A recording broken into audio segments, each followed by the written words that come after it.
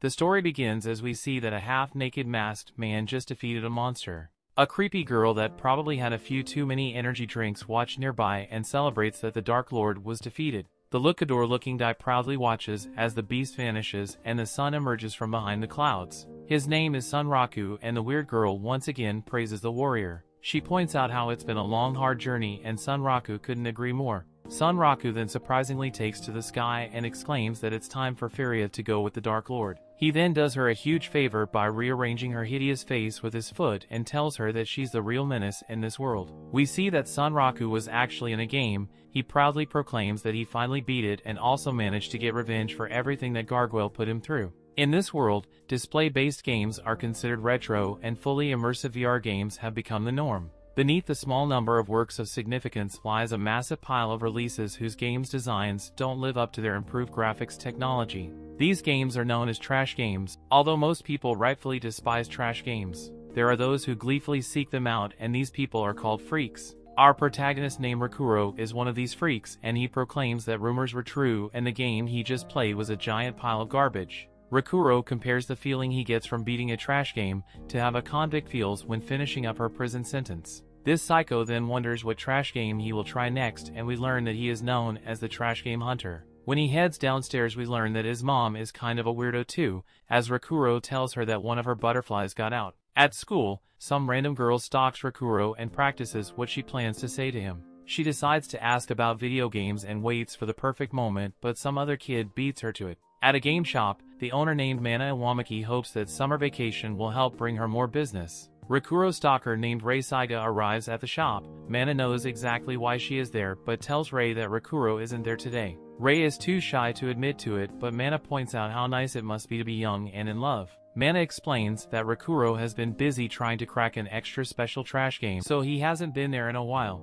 She shows her the game called Faeria Chronicle Online. It states that it's a legendary trash game. All the allies in the game have terrible AI, Enemy attack patterns don't make any sense and there are an absurd number of bugs in the code. The game is also extremely hard. Serious skills are needed even just to beat the first boss, so it has caused tons of players to rage out of control throwing their headsets like lunatic degenerates. On top of all that, she has also heard that players have to fight the final boss and board shorts and a mask. Just then Rakuro arrives looking for any new trash games that might have come out. He makes his way to the counter and we learn that Rei is an absolute coward as she instantly disappears. Mana is shocked to see him there and Rakuro proudly announces that he beat Faeria Chronicle online. Rei watches from around the corner like the stalker she is and hears Rakuro explain that the game was a spectacular pile of garbage. The worst part about it was the female lead Firia, she's the cause of pretty much every problem he ran into on the journey. She makes every situation worse and gets villagers and party members killed. She also never suffered any consequences for anything since you would always find a way to blame it all on the last boss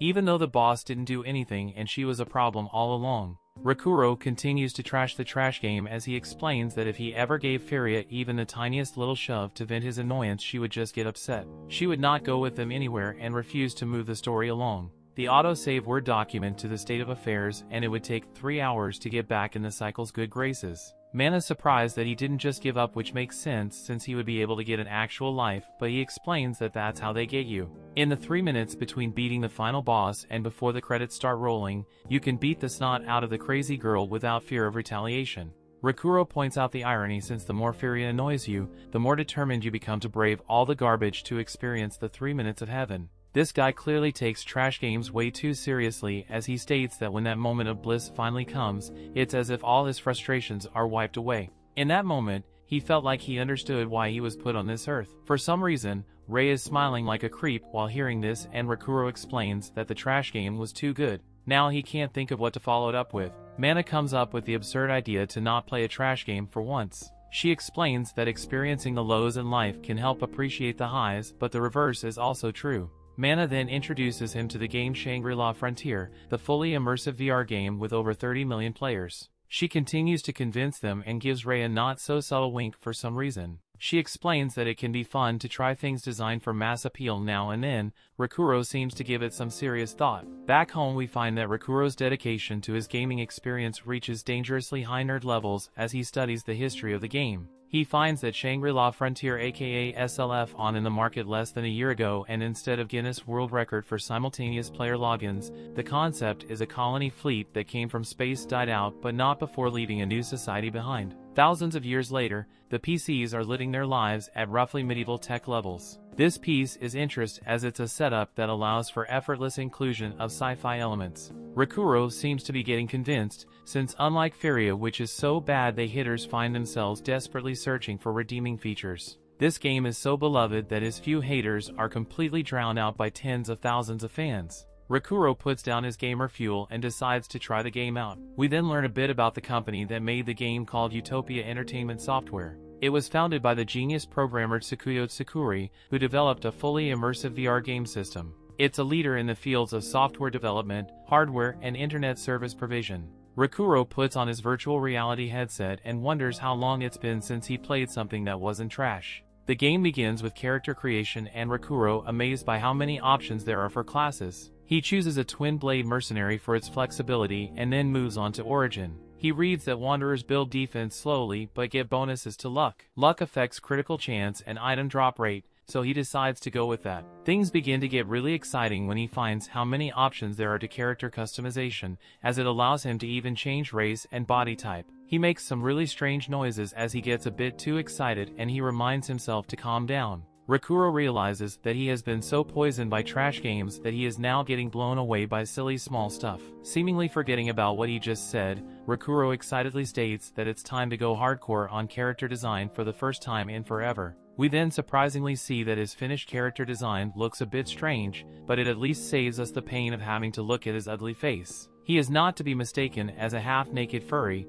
since he actually has a very good reason for doing this we learn that his playstyle consists of ignoring armor in favor of getting the best weapons possible. These weapons are costly, of course, but in SLF amazingly you're given the option to sell your starter equipment during character creation and you can make quite a profit. Rakuro thankfully he wanted to hide his face and the only option was the dumb looking bird mask. He had no choice as it would be pretty awkward for him to play half naked if everyone could see his face. Rakuro is the type of player who uses the same name in every game he plays, so he inputs the name Sunraku. He lays down on his bed and finally enters the game, he skips right past the prologue because who actually cares and arrives in the world of the god tier game to find one of his kind. It flies away and Sunraku immediately impressed, since moving around feels pretty much like real life. He tests everything by running and climbing through the area and points out how much better everything feels compared to the game with the disgustingly hideous girl in it. Sunraku marvels at how large the world is and pulls out a map, he wonders why he didn't start out in a tutorial town for beginners like most games,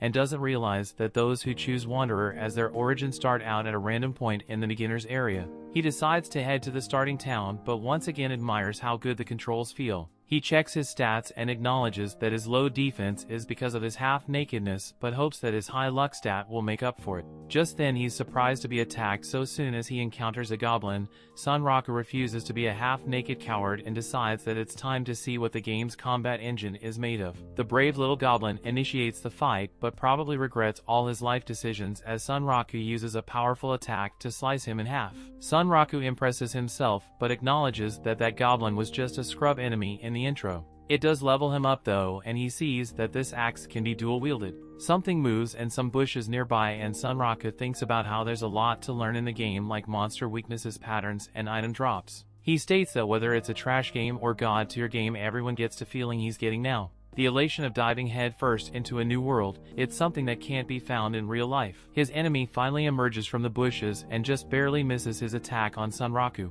The attack was extremely powerful and he acknowledges that it would have put him down if it hit him. The terrifying bunny goes in for another attack but this time her crew blocks it and he counters while landing a critical hit. Bugs Bunny with rabies is far too determined though and continues attacking. Sunraku is disappointed with what this game has to offer and we see that he has pierced the bunny. He explains that the bunny just kept going for his neck, so it was far too easy to figure out how to counter it. He is glad to see that he has leveled up even more but disappointed to not see the rabbit sword as loot. Just then his stat screen reveals that he has met a certain condition and learned the skill flash counter. Apparently he can unlock skills by taking certain actions, so Sunraku takes a moment to appreciate how well designed the game is. He realizes that since the player's own skill supplements their dodges and parries, he can fight pretty well against even higher level enemies. This makes him want to try a bunch of different fighting styles. His appreciation doesn't stop there though, as Sunraku realizes that he has been playing this entire time without encountering a single bug,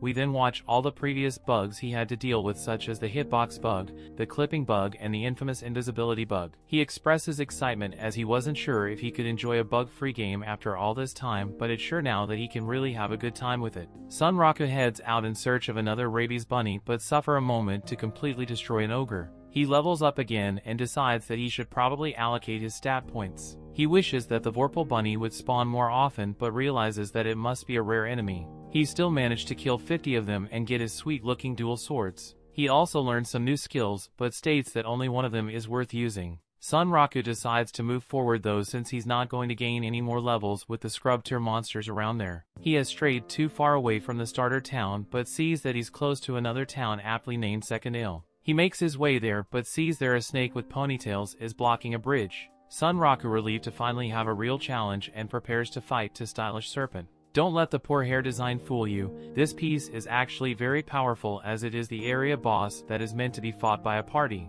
Sunraku takes a moment to think about all the attacks a snake usually has in games. He states that with an avatar that actually moves the way he wanted to, he doesn't need defenses to beat the boss and he charges forward. He demands that the game give him something exciting and we see that Sunraku is enjoying himself quite a bit. The story continues at the exit of a nearby town several people look at something in amazement. Their jaws drop and we see that it's someone wearing gigantic armor. This is the starting town first here. The townspeople see that this person has high level equipment and a crest from an achievement focused clan. The clueless bunch wonder what someone like that is doing there and we can tell by the voice that it's a girl. She checks all the names of the people in front of her and reminds herself that Sunraku gives all his characters the same name. He's in there though which is strange since all starting players come to First Tia. Back in real life, we see that Sunraku's stalker knows no bounds as it was her looking for him in the game. Back with her pigeon-faced hero, he begins his attack on the snake with her soul mesmerizing, it's as if it was stolen from an angel.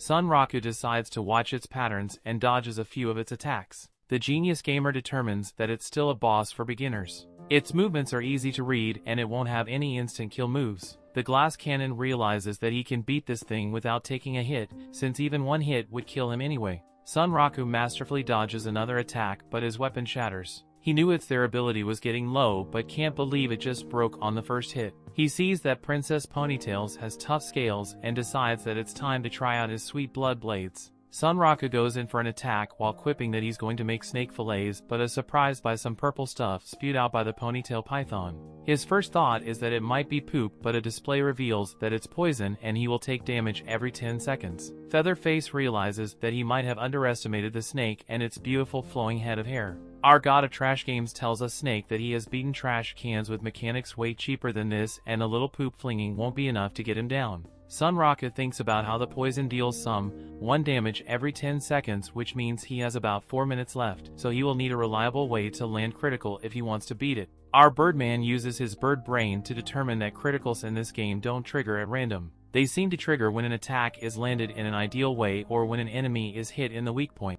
The snake isn't just fashionable its body is covered in super tough scales, so he concludes that its weak point has to be its head. The snake, super protective of its stylish hair, blocks his attack making Sunraku realize that landing an attack on its head won't be easy. Instead, he decides to make his own weak point and uses the move Screw Pierce to pierce its body. He continues to attack the hole he made and this absolute god gamer states that the defensive properties of a wounded section change allowing criticals to trigger there. The snake dramatically screams in pain with this beautiful head of hair flowing through the wind like it's in a shampoo commercial. Sunraku hacks away as his time is running out but he has no clue how much HP the snake has and isn't sure if he will make it. He is pushed back and Sunraku now realizes that beating trash games online made him pretty cocky. When he initially entered this mass appeal game for casuals, this cocky peacock thought that he would be able to know his things easily and wouldn't have to use recovery items. He was just being arrogant though, and the state consumes him. Sunraku isn't done yet and uses his flash counter move. Sunraku takes the upper hand by grabbing onto a lock of its hair that is so beautiful it rivals that of a unicorn's tail.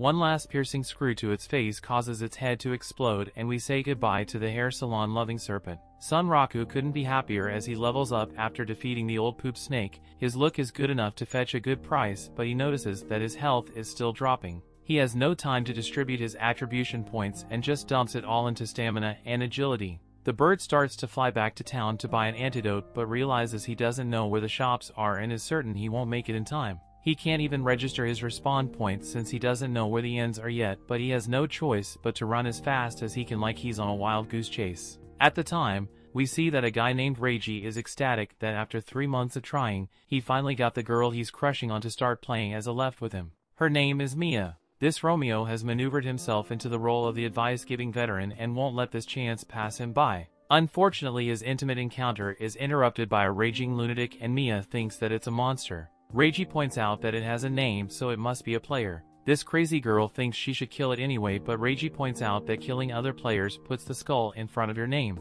The murderous psychopath considers it but decides against it and they wonder if the bird got hit with a poison poop. Reiji tells him where the inn is but explains that the respawn point will only register once he gets in bed.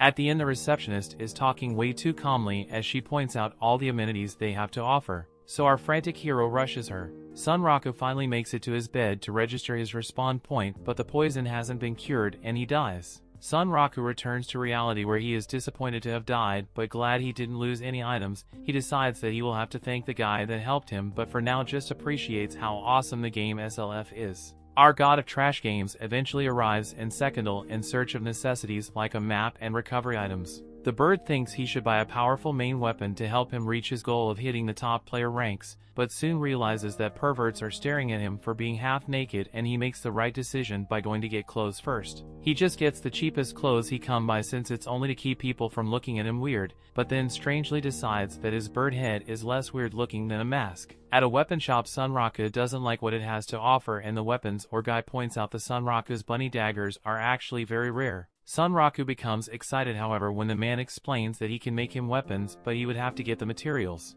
Our little pigeon wastes no time and Inslee has Swan area with plenty of ore. However he gets his feathers all flustered as he just ends up mining stone after stone. He is frustrated since he has been swinging his pickaxe for at least 30 minutes but only has two of the six pieces of ore he needs. As if he didn't have enough to worry about with all the mud and heavy pickaxe, an annoying frog appears to do what frogs do, this poor frog messed with the wrong bird. This little frog swims in the mud like it thinks it's swimming in the Olympics and it has its innocent little heart set on first place. Sunraku thought they could coexist since it wasn't that dangerous, but determined that the frog clearly wants to be turned into materials, his attack knocks the innocent little frog back so he goes in to finish it off. He knows that the frog has slash resistance since his suit is made from its skin, and decides that he can only use bludgeoning piercing attacks. His ex is perfect for this, but his father's got all ruffled again when he realizes that the marsh's mud slows down a player's movement significantly. The poor little frog meets its demise at the hands of her beak-faced hero,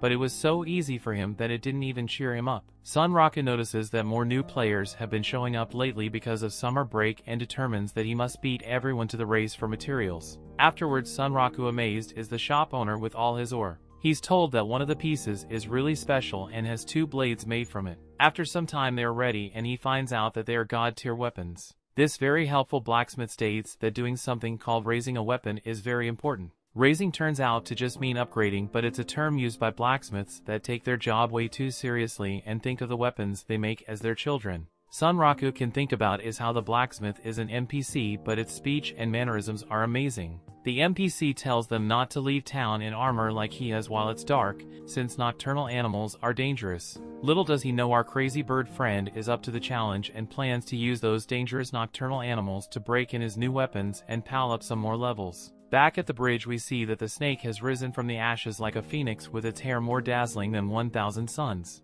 Unfortunately, it is met by a powerful attack from Rei who continues her search for Sunraku. This stalker detective searched the entire beginner's area for him but determined that he must have defeated the snake without stopping by town and is now in Secondia. She wonders if a new player could really accomplish such a thing but is confident that if anyone could it would be Sunraku. Elsewhere, our better loving birdie fights Gollum from the Lord of the Rings and he goes over everything he has learned. First, Monster spawns change based on if it's day or night. Most nocturnal monsters are aggressive and dangerous as a weapon seller said that has helped him to make progress leveling up and to learn some new skills. However, this particular little beast seems a little too powerful. This one's movement and attacks are on a whole other level from the forest goblins. It's got lots of HP and incorporates feints into his fighting style like it's been doing it all its life, like it's fighting for Freedom Ring. Just then the little goblin that's not a crazy sounding battle cry and calls all its little goblin buddies. As if fighting one wasn't bad enough now he has to face several and he determined that he would have to run at full speed just to have a chance of getting away.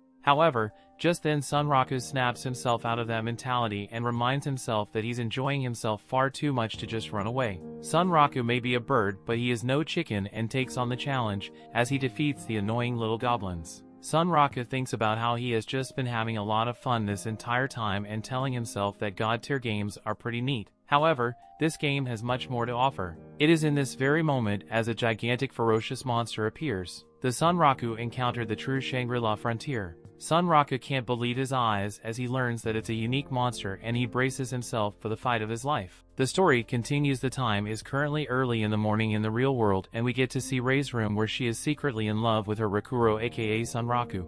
As we pass by the teddy bear in her room we see that she is still playing Shangri-La Frontier, probably still looking to find Sunraku in the endgame world. That actually seems to be the case as the scene shifts to show the Shangri-La Frontier world, where Rei is investigating two players about some Sunraku's whereabouts. These two players Reiji and Mia are the ones who actually briefly saw Sunraku when he was trying to find a respawn point a few days ago. Reiji tells Rei that they have indeed seen him but unfortunately aren't in any contact with him. Mia gets hostile after seeing Rei's gigantic figure and takes out her bow and arrow assuming she is a monster but Reiji stops her just in time and explains to her that Rei is a player and not a monster. But Mia doesn't believe him as she doesn't think such a scary looking creature can be an actual player. So Reiji takes his time to explain to her that once the players get more experienced and veteran like they end up looking bulky and strong like Rei. Speaking of Rei, she doesn't seem to care whether other players think she is scarier or not and she asks Reiji if he knows where Sunraku is gone, although Reiji isn't sure since he is very intimidated by Rei. He elaborates on the time when he saw Sunraku running inside the town when he was poisoned by the Python boss learning that Sunraku is in the second town.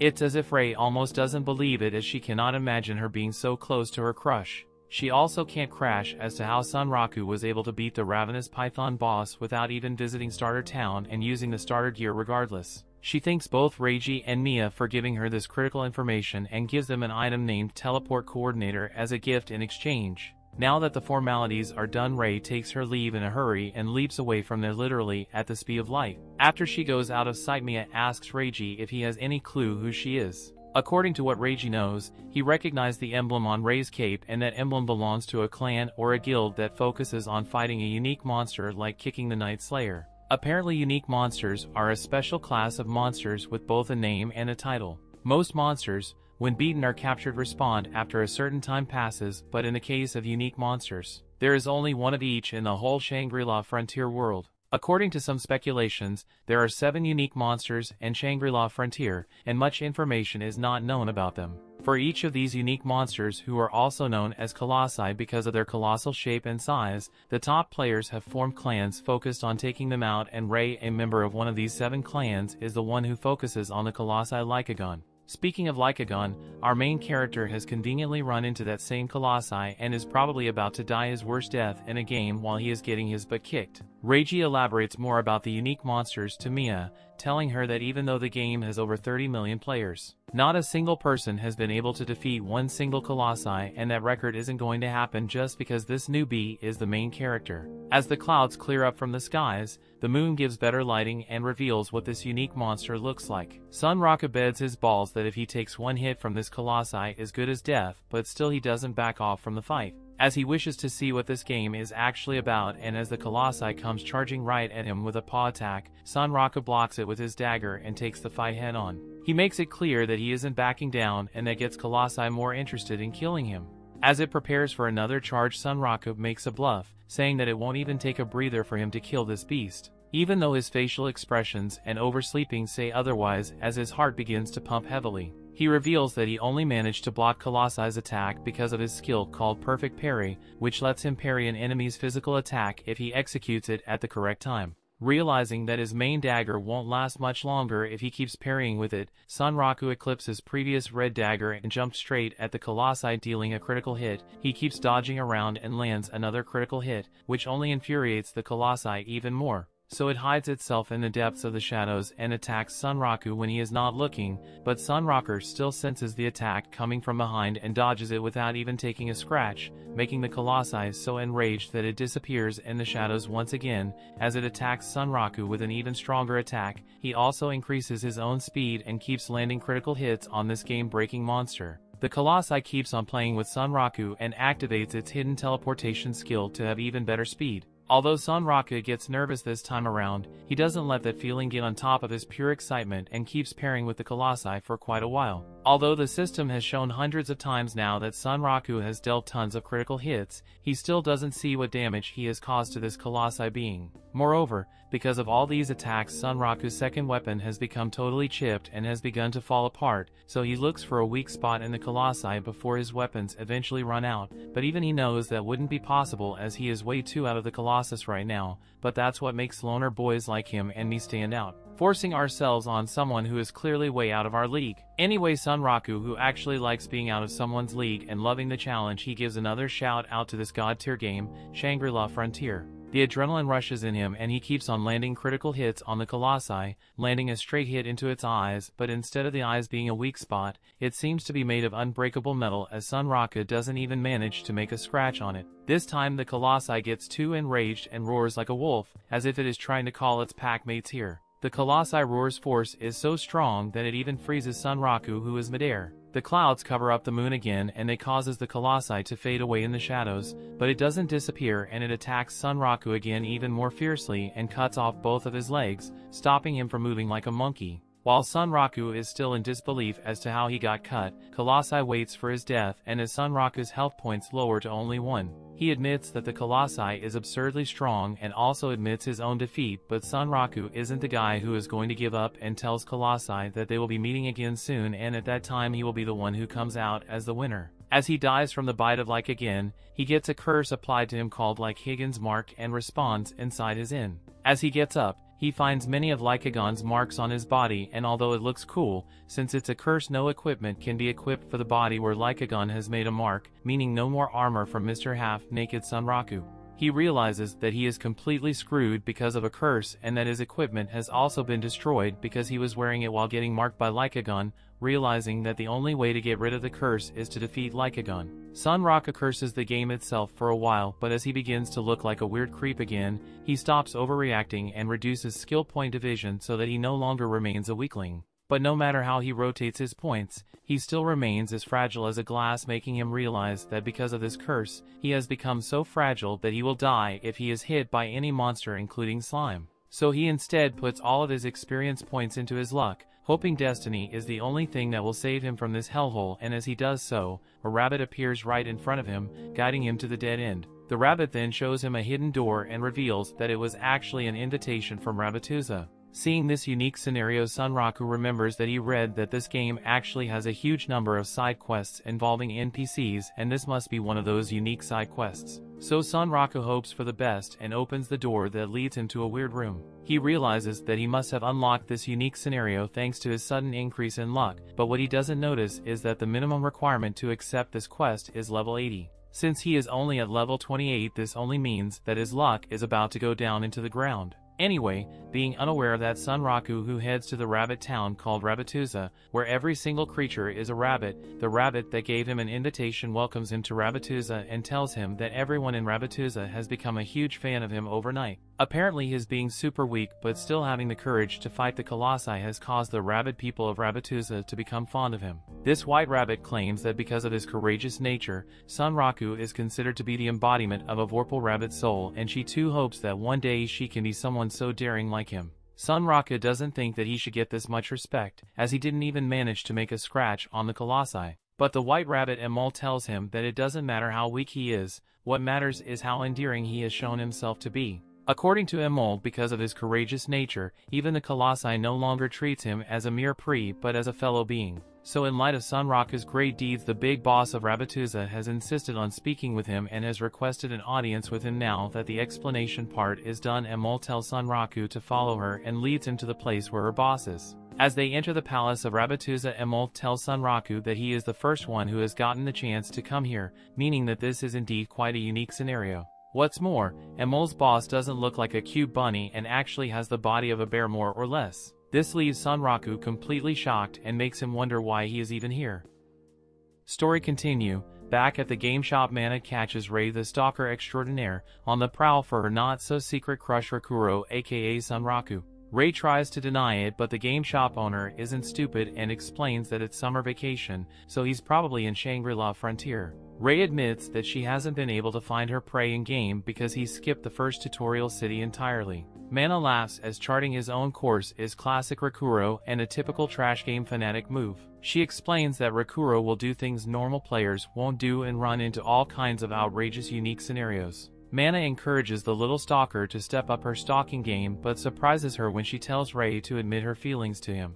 In the next scene we meet Rumi Hisatomi, she's about to begin her storyline but she leaves and we don't see her again. Meanwhile, Rakuro is reading about the trigger conditions for the Tour of Rabbituza unique scenario. He learns that if you defeat a monster of a higher level than you with Vorpal weapons equipped, a special Vorpal bunny will appear in any town and invite you to Rabbituza once you arrive if you defeat the Laconian Python. A monster terrorizing their city you'll learn the enchant Vorpal spell. The beginning part was right but Rakuro explains that the rest of his unique scenario that happened the day before was nothing like that. He definitely didn't end up wrestling any pythons instead it was the intimidating Yakuza boss looking bunny, the sort of cuddly terror you would expect if the mob started to recruiting and petting zoos. A look back shows that Vice-Ash complimented Sunraku on his fight against the puppy, he admires Sunraku's Vorpal soul but Sunraku can't help but be intimidated and wonders what in the world is a Vorpal soul. That Yakuza bunny then makes him an offer he can't refuse, the offer to get him up to snuff. Sunraku pretty confused at first but then realizes that this must be a training quest and unique scenario training could yield the amazing buffs. He quickly accepts the offer but almost gets himself whacked when he calls Vice Ashinaki as it made him very angry. Sunraku explains that it was just a little joke but the giant Bugs Bunny on steroids doesn't say a word. Luckily for Sunraku Vice-Ash has a sense of humor as he doesn't call a hit on him and lets out a big laugh instead. He acknowledges Sunraku as his underling and asks him to call him Vash. This is a privilege only given to those with potential and Sunraku accepts as he thinks about how he is glad that they see Yakuza Bunny didn't have him swimming with the fishes. Vash tells them more than excited Emol that he will leave her curl in his hands, which of course the weird little bunny loves and he promised to work super hard. Emol excited to take Sunraku on a tour of the palace, but Sunraku explains that he needs a break after a long playing session, but instead he thinks about how he also wants to look up more about unique scenarios and unique monsters. Sunraku glad to hear that he can register his respawn point there and Emol offers to take care of it. Vash remembers that he forgot one thing and puts a Vorpal Soul collar on Sunraku. Sunraku is shocked to find that the collar gains two and one half times the stat points when leveling up, but will only receive half the experience. He instantly tries to take it off but Vash explains that it's no use. He won't allow Sunraku to take it off since extraordinary hardship is necessary for the weak to grow strong. He then reminds Sunraku to never forget the Vorpal Soul. The goofy little bunny tells him that it looks great on him but Sunraku just can't believe that he has been saddled with another restriction. Back to the present, Rakuro acknowledged that even if it does have his experience getting two and one half times the staff points is a pretty big upside, it might even be a broken cheat code. No one on the forum seems to know about Vice Ash or Emol let alone the Vorpal Soul Collar. No one's even found a unique scenario where you entered the Palace of Rabbituza. He gets super hyped as he realizes how amazing it is to have found a unique scenario only he knows about. Unfortunately, he has an appointment with someone named Katso and loads up a game he hasn't logged into in forever. It's called Berserk Online Passion or as some people calls it BORP. It's a fighting game he once got deeply into and naturally this means that it's a trash game. Its player base has waiting to less than 100 signings per day, leading many to wonder why the server is still running. This means that most of those who remain playing the game know each other they're all of single-kind trash game enthusiasts. Sunraku meets with Katsu and asks for the rules of the fight. The fight begins though as Katsu does his best impression of Luffy without a straw hat and reminds Sunraku that anything goes. Katsu shows him his new move he worked out while Sunraku was focused on Foley Online that he calls NSFW Tentacle Attack. Sunraku surprises see that Tattoo developed a new glitch and wonders how a madman like him got to be a pro gamer. Katsu is shocked since he is using a delay but Sunraku is still somehow managing to block his attack. Katsu calls Sunraku the real madman for having such fast reaction speed and Sunraku points out that his quick draw fist is the ultimate fighting style. He explains that as long as he has 12 frames, he can even counter boss insta-killer attacks unscathed. The two continue their fight that looks like something right out of One Piece and people around begin to take notice.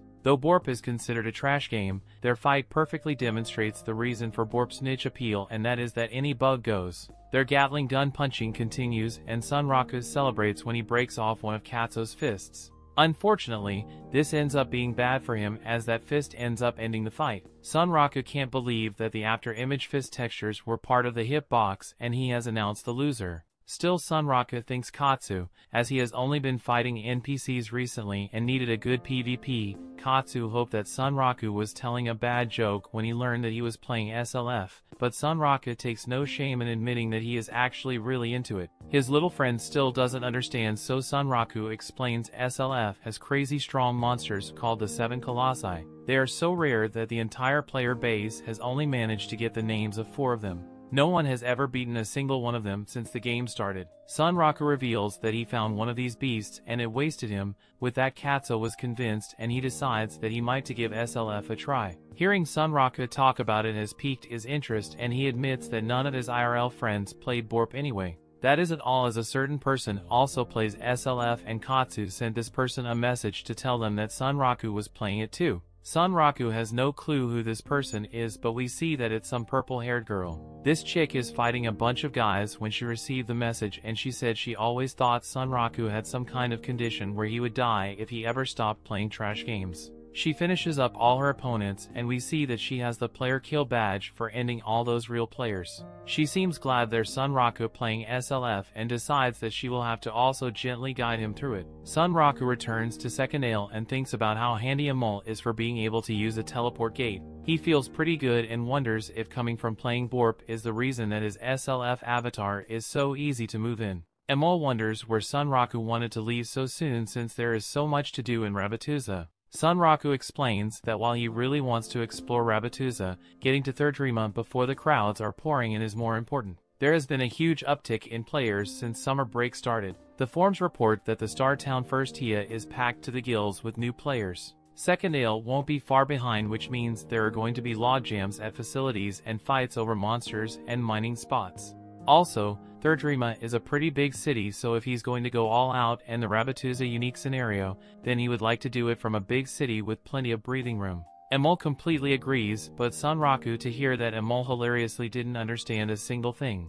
Emol is still more than glad to help and Sunraku is shocked to find that he can add NPCs in his party. Emol explains that Sunraku can't retry Rabbituza or the palace without him, but Sunraku thought that the little free NPC would just be tagging along. Sunraku accepts a Emol party request and finds that the little bunny has higher stats than he does. He's in too concerned about it though since he is confident that he will pass Emol no time.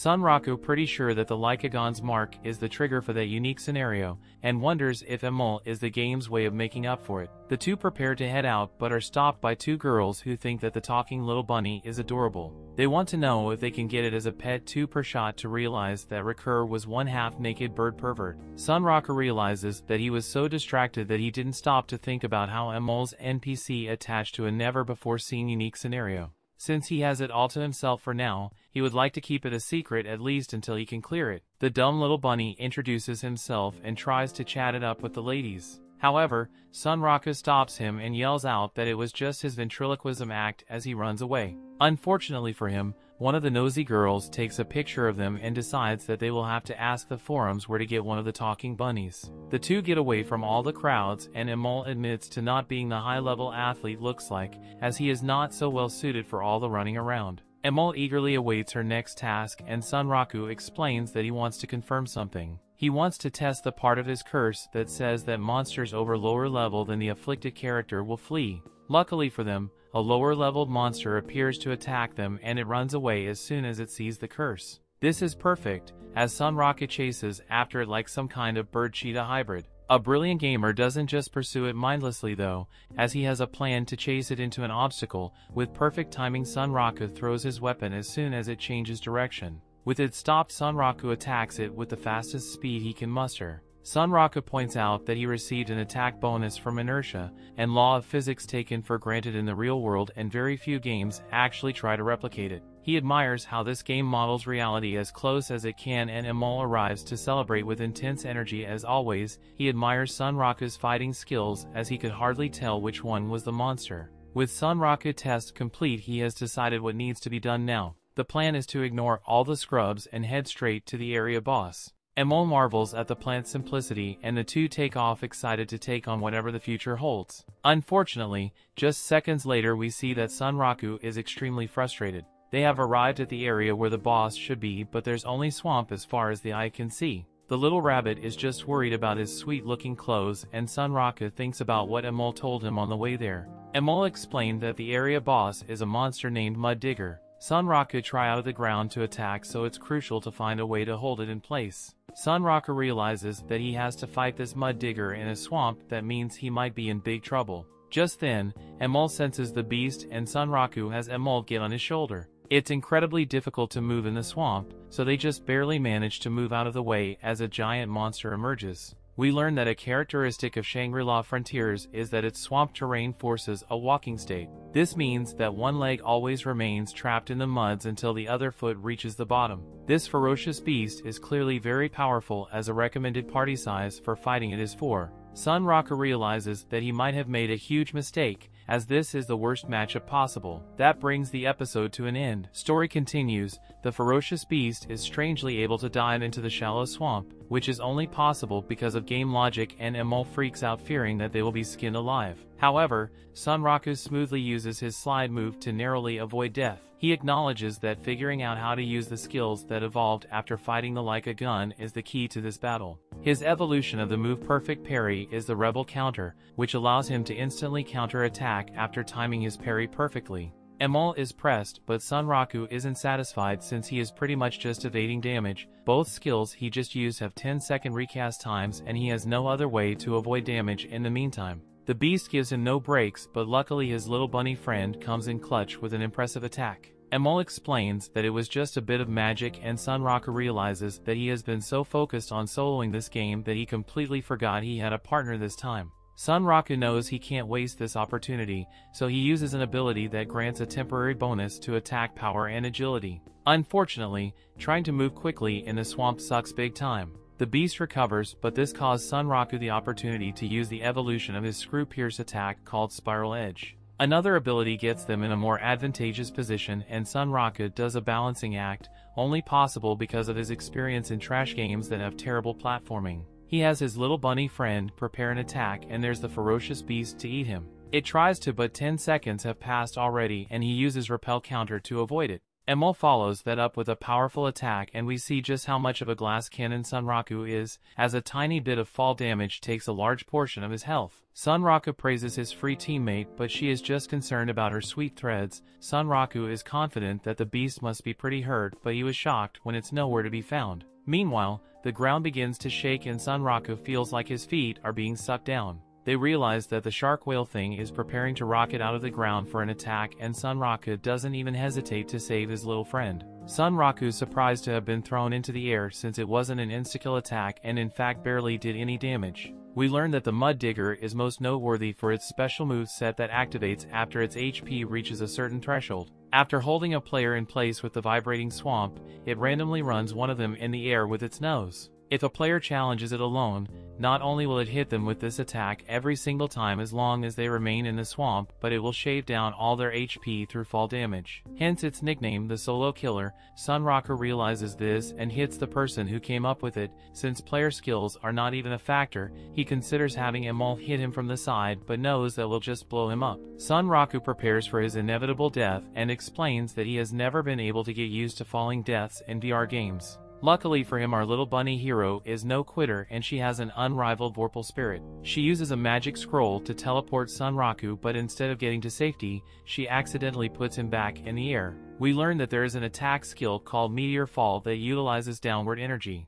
Sunraku had picked up a ton of downward momentum from his initial freefall and built up a lot of energy. Emol's accidental teleportation actually put them just above the beast and allowed Sunraku to gain even more energy, so a fall that would have resulted in player death. Instead is now a risky attack, this is not an actual meteor fall but a mistake meteor fall. The creature instantly blows up into smithereens and Sunraku in complete disbelief to see that he actually survived. He can't even digest all the things that just happened, so he just compliments Emol for her clutchness. Sunraku acknowledges how tough the fight was, comparing it to when he fought the Lycagon but this time they were the survivors. Afterward, Emol shocked to see Birdhead shove a bunch of healing herbs down his throat and Sunraku points out that it's the only way anything can reach his mouth because of his giant beak. Sunraku can only think about how Emol was way stronger than he expected. She ended up carrying him so he feels pretty bad for being so cocky before, Emol can only think about how Sunraku will be staying in Rabbituza full time once they reach the big city.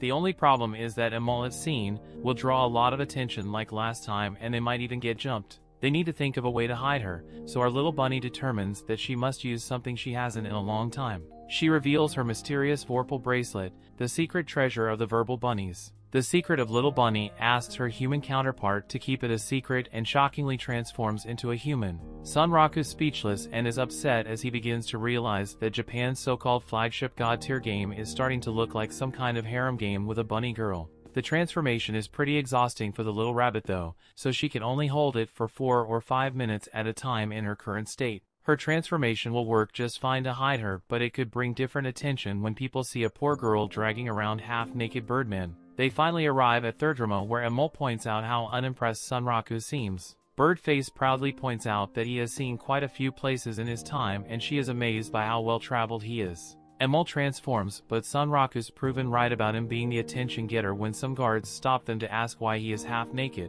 They are also pretty curious about his body being covered in scars, but Emol comes to Sunraku defense. She states that Sunraku has a past that will bring immense sorrow to all those who hear it. Emol tells the story of his dangerous journey in the most dramatic way possible, a story highlighting the curse Sunraku has on his body and his journey to remove it. Emol gets even more intense as she explains that this is only the first chapter in this story, the second chapter will have him transform into a super warrior, this chick is way too intense for the guards and they just allow them in. Out of the entire crowd that has gathered to watch Emol's theatrics, Sunraku notices someone giving him a look and it's far different than the normal judgmental look he usually gets for being a half-naked bird face. Before they can enter the city a girl urgently stops Sunraku as she recognizes him. Sunraku has no clue who this frantic girl is but we see what happened after those girls in Secondil took their picture. The girls posted the picture on a forum and asked if anyone knew how to befriend the adorable bunny. The post spread rapidly as people were shocked to hear that a monster could talk and almost equally as shocked to see a half-naked birdman. The silvered-haired girl was more shocked than anyone, she was certain that the game only allowed players to tame dogs and cats, and determined that the bird must be cheating. As people question the ethics behind posting a picture of someone without their consent, the silvered-haired girl begins her mission to find the pigeon man. Other people were paying more attention to recur on the picture. Many have not seen scars like his, especially since nothing like them exists and the character maker. Someone on the forums remembered is that it's a curse that also serves as proof that the player has been acknowledged by the Night Emperor. This is only known though because some NPC mentioned it. Players are stunned to realize that this means Sunraku has encountered the Lycagon. Some players know that the Lycagon is a random encounter, so it is possible for a beginner to run into it not no one can figure out how this Sunraku guy managed to get acknowledged by it. A player named Orsalot responds on the forums, saying that he could spawn kill Sunraku until he tells him how to do it. Other players think about how dangerous this Orsalot guy is, as he is the esteemed leader of Ashura Kai, a clan infamous for being filled with player killers. Orsalot has eyes set on Sunraku, so other players wonder if the Birdman will be okay. People discuss on the forums how if you player kill too much and you get killed by a player or NPC, all your items are lost including stored ones. On top of that, the bounty gets paid from the player killer's own cash, so it's a pretty brutal system. One red-headed lady is particularly intrigued by Sunraku and leaves a message on the forums with the hopes of him reading it. She tells him to speak to any player wearing the emblem of a wolf and a sword, as she would love to meet and talk with him. She expresses sorrow for him having so much of his information leaked but explains that her Siger clan can help protect him. Other players can see that several clans are showing interest in the now famous Sunraku and point out how he is being treated like an event boss. The crazy silver-haired girl is the first to find him though and she just wants to know how to tame a Vorpal bunny. While news of him has spread rapidly, this is Sunraku first time hearing about it, he realizes it must have been from Secondil but there's no way he's spilling the beans on the Vorpal Bunny unique scenario. Just then, their conversation is interrupted by a surprise attack. The attacker says that it's not nice to keep things to himself and everyone should share in the fun. This girl shocks for Sunraku when she calls him Revolutionary Knight Sanraku. Sunraku seems to know her as he states that the Great Pencil Knight has finally shown her face. This girl doesn't like how he is talking to a self-proclaimed beauty like herself and explains to him that in this game she is not Pencil Knight. She shockingly removes her mask and tells him to refer to her as Arthur Pensilgan. Sunraku is stunned to see that she is not only level 99 but she also has the skull badge for being a player killer. Story continues, Sunraku refers to this person as his friend and trash gamer Hood. A flashback shows some guys robbing a shop in a game called Unite Rounds. These fools thought they were scot-free but our boy Sunraku found them and robbed the robbers. The players affectionately called this trash game a post-apocalyptic looting simulator. The game was originally meant to simulate a kingdom on the verge of collapse, with players assuming the role of knights who protected from attacking monsters a co-op MMOVR game. However, because of truly garbage game design that prioritized faithfulness to the concept the drop rates were unreasonably low. Only a few players would ever dare to play this game the right way, even the beginner's quest required 12 hours of coming through open fields to complete in the player's eyes, this only left them with one option steal what they need. Game rats weren't willing to spend hours picking through grass for low-level items when they could just raid an NPC store or steal them from a player who did, that eventually proved to be the winning move and unite rounds. In an environment where outrageous everywhere and every person you saw was an enemy,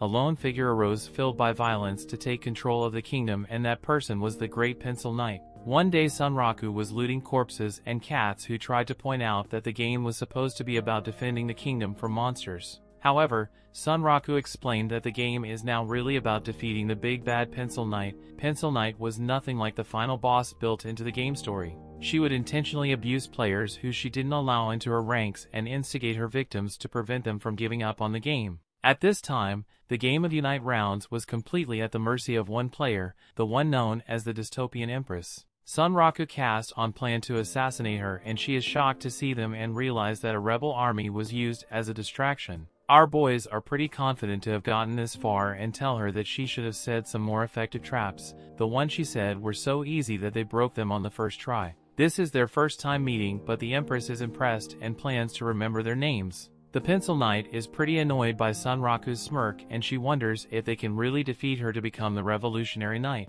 Back to the present, Sunraku thinks about how in Unite rounds they fought each other to a draw with both of them dying in the end. However, in this game there's a huge level gap between them. Pensilgan instantly initiates the fight and tells Sunraku that she took the penalty and came all the way from Fatisha to play or kill him, so he shouldn't be ashamed if he feels like crying because of how flattered he is. Pensilgan is not only a good trash talker, she's a dangerous fighter also, as Sunraku must block daggers that he predicts are poisonous. She knows that Sunraku just beat the Mud Digger and assumes that he's around level 30, so she compliments him on his impressive dodging skills. However, referral credits the gods game for making all his moves come nice and smooth. The crazy silver-haired girl is shocked while watching the fight when she realizes that Pensilgan is second in command of that one-player killer clan Ashura Kai. She is known as the Giant Killer. Pensilgan explains that she got the nickname from constantly focusing on ambushing higher-level players. Unfortunately the devs need ruthless strategy so it's been a lot harder for her recently.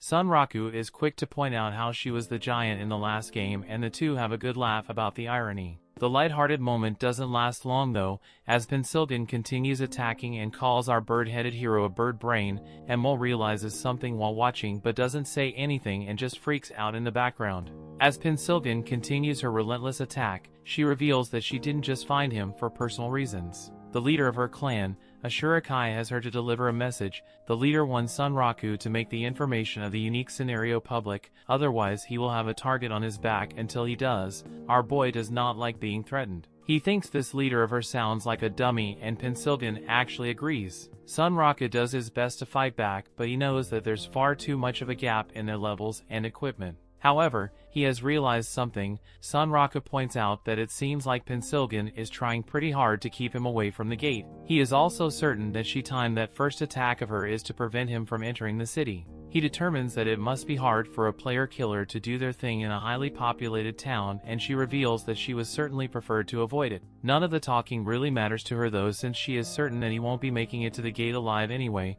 Just then we see Amol freaking out about this whole time as her bunny tail reappears and she can't hold it any longer. She will soon transform back to a Vorpal bunny but she has no way of telling Sunraku without anyone finding out. The chaos is mounting as the crazy silver-haired girl decides to ask for Curl's companion but how to get the Vorpal bunny pet. She's surprised to see that Emol wearing bunny accessories but even more shocked when Emol transforms into the Vorpal bunny she had been desperately searching for like a maniac. Sunraku notices and points out how this is the worst possible moment for this to happen. Pensilgan refuses to be ignored but is shocked and Sunraku uses his repel counter move. He knocks her back with rage since he knows that she has been holding back and calls Emol to his side. Our boy catches his little bunny companion and Silverhair wishes she could at least get a selfie with the little fur ball. Sunraku explains that he will think about it if he survives his plan and makes a mad dash towards the gate. Pinsilgan is certain that Sunraku has no chance in beating her in a foot race but is shocked when Silverhair stops her. Silverhair explains that she couldn't care less about Bird Face but a Pinsilgan is going to put the sweet little bunny in danger, then she will slay Pinsilgan in a heartbeat. Sunraku couldn't be happier as this is what he hoped would happen. He realized that the girl named Animalia was obsessed with his furry companion and he knew she would put herself in harm's way for her. He praises Emol for being a great mascot is not all he has to do is get into town. Emol will make him a teleport gate to Rabbituza and no one should be able to track him there. Sunraku's plan runs into a huge problem though, as Pensilgan explains that she never said she came there alone. Sunraku was met by a group of tough-looking players from Pensilgan's clan. They all hate the idea of having to pick a lower-level player, but they must do it as if you're getting player killed themselves by Pensilgan if they don't. Pensilgan realizes that Animalia is the keeper of SF Zoo, a monster documenter clan with no interest in other players and she thanks Sunraku for giving her this opportunity. Sunraku isn't even listening though as he has his hands full trying to keep from being ended by the group. Animalia shows that she isn't just some crazy animal lover and Alicia is a powerful spell. Unfortunately, Pensilgan consumes the attack and fires it right back at Animalia. The Pensilgan is pretty impressed but all the status debuffs on Animalia has acquired and Animalia is shocked because Pensilgan was able to reflect all the curses in her attack. Pensilgan reveals the amazing item that allowed her to do this, the Karmic Straw Doll. Pensilgan knows she would have been in big trouble without it and curses the thing. The item 1 crash sends all curses applied to the player back at their caster, so the cold-blooded pencil garnishes Animalia that she will stick around to watch her die of her own poison. Sunraku doing his best to stay alive against opponents who outnumber him or a higher level than him and have far better equipment than him. He analyzes them to determine that his best target is the jerk who uses a slow-moving longsword since Sunraku doesn't even need skills to dodge his attacks. The real problem is how he will do damage to the high-level players decked out in top-tier armor. Things are looking pretty bad, but luckily someone has arrived to absolutely destroy one of the attackers with a single blow. Every one of the attackers is shocked as they realize that this was the unparalleled firepower of the famous attack master. Sunraku has no clue who this person is, but can't believe another person has arrived with such a dangerous sounding nickname. However, we know that this giant armor knight is actually Sunraku's stalker Rei and she's glad to have finally found the apple of her eye. A flashback shows how upset Rei was after not being able to find Sunraku no matter how hard she looked and she thought about how Mana told her to confess her feelings to him. She thought about how Sunraku always played games that were so unusual and difficult. They were always too hard for her to play so she could never find a game that she could play with him. However, that all changed with that SLF. Sunraku is finally playing it so she refused to let her opportunity get away. When she returned to the game she found that a message was waiting for her. It was another member of her guild, Seeger that is also her sister. The message revealed Sunraku location and asked for it to get into contact with him. This was Ray's first real chance to find him, so she wasted no time in rushing to him. The message also revealed that there were a number of clans already arranging to make contact with him and the dangers of Ashura-kai was among them. Ray saw him deep in battle and realized that it was a great opportunity that she would never have again. If she could save him from the pikers, she would have a natural end to talk to him. This drove her more than anything because she's crushing on him pretty hard and knew that this could someday lead to them talking in real life. That is when she made her explosive entrance and Pensilgan could instantly tell that things were getting intense. Pensilgan knew all along that the pikers from her clan would have a tough time against Sunraku. However, fighting him in SLF has made something even more clear to her. The skills he's built up playing terrible games in all genres are more valuable than unique items and high-level stats and that's a huge asset in Shangri-La Frontier. She has also heard that Katsuo is playing as SLF as well, so with Sunraku some secret project of hers is looking more possible. Pensilgan is then shocked when she realizes that the person that has joined the fight is Siger Zero somehow Sunraku first lured in the zookeeper and now that attack master. Pensilgan is incredibly happy to have come, but an Animalia isn't done just yet, as she points out that she hit Pensilgan with 5 spells. She explains that the doll Pensilgan used tops out at reflecting 5 debuffs and she wonders if Pensilgan has a counter for her next attack. The story continues, in the past we see Ray stalking Rakuro so hard that she runs into a pole. He was always smiling and enjoying himself, so that is why she started thinking about him. She started looking for him and eventually developed elite level stalking skills. She tried talking to him on several occasions, but she was always too shy. Back to the present, Rei won't let her opportunity pass her by, so she comes to Sunraku's rescue. Sunraku is instantly suspicious of this giant knight, and he assumes that they're after the unique scenario just like everyone else. He knows that he needs to think of a way out, and luckily for him it looks like Animalia is preparing to do something. And Animalia's final attack requires the mastery skill and single-digit HP. This chick is just another crazy person in this anime as she explains that her next attack is a murder-suicide curse that destroys her opponent and herself. Pencilgon has already used her doll and has no way to debuff the spell, so the two of them are eliminated. The attack causes a massive eruption of light, shocking everyone, but this is Sunraku's chance. He tells his bunny little friend to prepare a gate for them and apologizes to the knight for using its head as a launch pad Sunraku runs as fast as he can and the enemy group wants to stop him from reaching the city since it's filled with bounty hunters. Unfortunately for them, Rei is too powerful and knocks them back. Sunraku still doesn't trust a giant knight but promises to remember their name, Siger Zero. The Azura Kai members are furious but Rei is completely distracted, she can't believe the Sunraku actually talked to her and his apology replays over and over again in her head. The Azura Kai guys see this as an opportunity to earn some fame and make an attempt to attack the attack master. Unfortunately for them, she is furious because they were the reason she couldn't talk to Sunraku more. The Azura Kai members prepare to run away, but Rei doesn't let them, and she still has a lot of anger to take out on them. We then see their Sunraku and Emul have finally made it back to the inn inside of Rabbituza. Emul ran out of magic from using her transformation earlier, but luckily our MC was prepared and bought magic restoring items ahead of time. Just then Sunraku receives what he calls a sore loser email from Pencilgon. She's in disbelief that the attack master appeared from nowhere to save him, and she points out that her death was her own fault, so she didn't really lose to him. Pencilgon still wants to talk to Sunraku, so she tells him to call Katsuo, so the three of them can have a meeting in the game and unite rounds. It's a bit strange and she doesn't just want to talk on SLF, so he is suspicious of her. Just then Katsuo emails him after he was messaged by Pencilgon as well. Katsuo shares Sunraku's skepticism, but they're both also very intrigued by what she might have to say. They decide not to back down, but for now Sunraku has bigger things to worry about. Emul finishes her delicious potion and Sunraku eagerly explains that he is ready to get this unique scenario going. Sunraku wonders what the Mafia Rabbit boss meant by getting him up to snuff, so Emul decide to just show him by taking Sunraku to their arena, where they do their most serious battle training. They arrive at the Vorpal Coliseum and Sunraku marvels at how huge it is. Emul reveals that her father slash boss wants Sunraku to fight 10 monsters there. Sunraku was excited for this boss rush type of training and Emul explains that he will be strictly limited to the use of Vorpal weapons. That's totally fine for our MC and he prepares to grind levels until he can wipe the smug smirk off of Pencilgon's face. Sunraku gets a good stretch and before pulling out his Vorpal Blades of Death and has the first monster come out. Our protagonist is pretty realistic, as he doesn't expect to go 10 in a row on his first try. He plans to use trial and error to learn their attack patterns so he can slowly but truly attain victory. He is pretty shocked by his first opponent though, since it's a pack of hounds that always spawn in groups of 5 or more. Their average level is 65, so Sunraku wonders if there has been some kind of mistake. His ruthless little bunny friend explains that there's no mistake, and that's just how the first opponent works. Sunraku knows he has his hands full and is instantly wiped out by the pack. Back in the real world, Rei celebrates the fact that Rakuro talked to her and she replays the moment in her mind. That isn't enough for the little stalker though, as she reminds herself to find the courage to send him a friend request the next time they see each other. She wonders if he would accept and imagines our boy saying yes. Rei imagines that they will become friends in real life after that, and this sends her over the roof with joy. The problem is that she searched for him in Third Rema after she was done with the goons, but couldn't find him, so she wonders what he could be doing.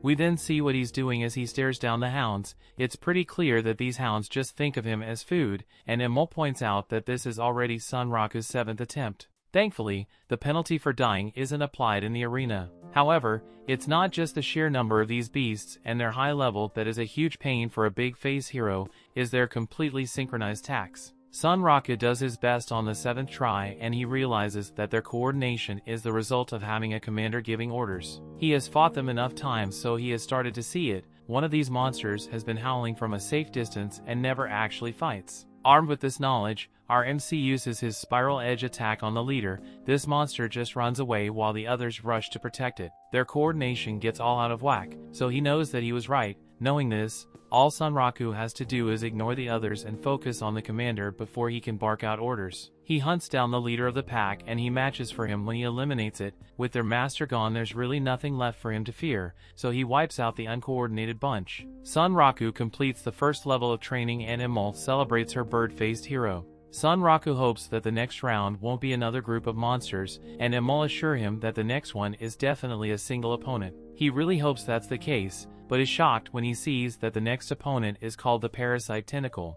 This hideous creature is just a teddy bear with snakes coming out its back, so this makes Sunraku think that it's practically another group. Sunraku used a hit and run strategy against the beast's tentacles. Once all the tentacles were severed, the bear stopped moving and he won. It only took him four tries. A really tough goblin was his third opponent, but it was easier than the previous two, this one only took him two tries. Some wild boar was his fourth opponent, but our MC has some in-game rodeo experience and used that to defeat it on his first try. His fifth opponent was a doozy though, it was some crazy acid pooping bird and this thing took him 112 tries. The next few opponents were relatively easy and only took them one try each. Our hero's ninth opponent was some Mega Golem, they had some type of invisible energy shield that shipped out 70% of his HP when repelled by it. He eventually figured out that he needed to tear it down little by little, and he defeated it on his seventh try. Our MC more excited than ever as he only has one opponent left, but is pretty upset to see that after all that fighting, he has only gone up two measly levels.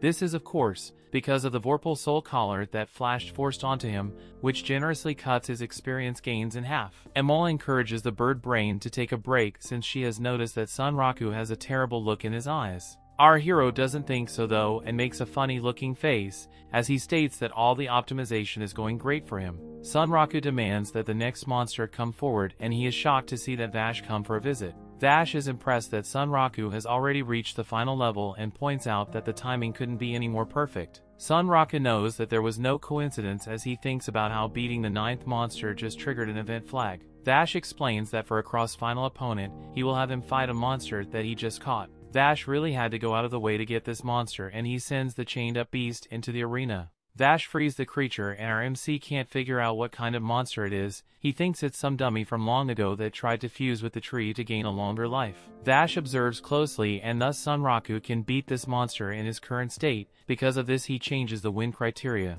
This monster is apparently insanely strong, so all Sunraku would have to do to win is survive for 5 minutes. This thing is a wood mage, but Sunraku eager to prove that he can complete level. Sunraku was confident for this test of endurance, but is instantly surprised by the monster's first attack. This crazy tree thing creates roots out of nowhere and forces Recruit to run for his life. Vash explains that he is a big fan of Sunraku's confidence, but points out that he will really have to back it up now if he wants to survive. Sunraku is getting pretty stressed evading all of its attacks, and realizes that it's going to be a really long 5 minutes. Out of the over 30 million SLF players Sunraku the first one to fight this terrifying monster. Sunraku wouldn't learn this until far in the future, but we see that this tree mage is an insane level 120. Story continues, Sunraku does his best to avoid all the roots, but they are seemingly endless. RMC is crazy as he attempts to close the gap with the monster, even though all he needs to do is survive. Getting close doesn't do much though,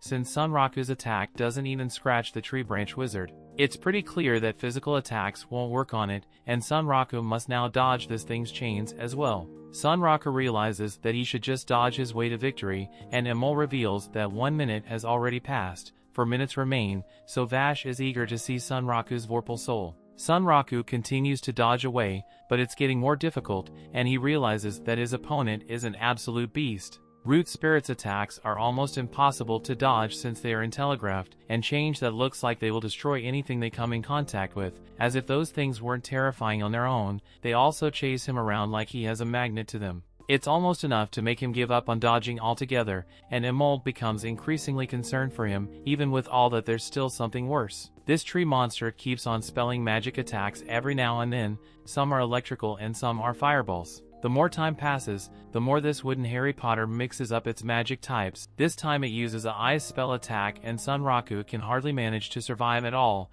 as the attacks seem to be getting denser as well. The number of chains and roots are increasing and the magic attacks are starting to cover a wider area. The magical tree branch gives a menacing look and Sunraku determines that if the densities of the attacks keep increasing, he will be dead well before he reaches 5 minutes. Just then purple mist erupts from the ground, and it's just another spell from the tree's arsenal that Sunraku has to worry about. The fight is beginning to seem futile, since this thing can nullify physical attacks and constantly adds attacks of its own. Sunraku begins to think that he would have a better chance against the Lycagon that gave him his cars and he really begins to lose hope, he's getting so tired that he can barely even think straight anymore. Sunraku is ready to give up, return home to eat something while he thinks of his strategy and try again later, there isn't really a penalty for losing, so he doesn't really care anymore. Just then Sunraku snaps himself out of it, and reminds himself that he is in a pushover, he went through the same feeling of hopelessness against the mud digger, when he gave up and had to rely on Emul.